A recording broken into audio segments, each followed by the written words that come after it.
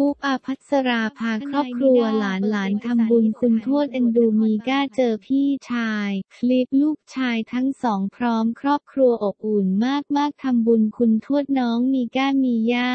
ล่าสุดคุณย่าคนสวยระดับจักรวาลปุ๊บอาพัสราหงสกุล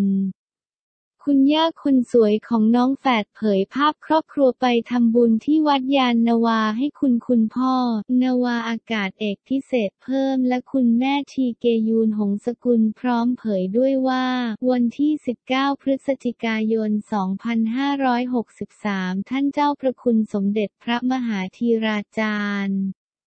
ได้กรุณาทำพิธีบังสกุลเพื่ออุทิศส่วนกุศลให้คุณพ่อ นาวาอากาศเอกพิเศษเพิ่มและคุณแม่ทีเกยูนหงสกุลที่วัดยานนาวาค่ะ โดยมีทั้งครอบครัวหม่อมหลวงรุ่งคุณกิติยากรลูกชายคนโตและครอบครัวป๊อกภัสสรกร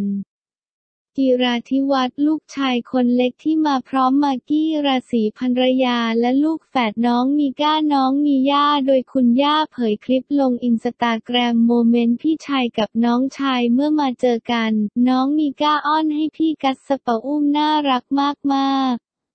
พร้อมเผยว่า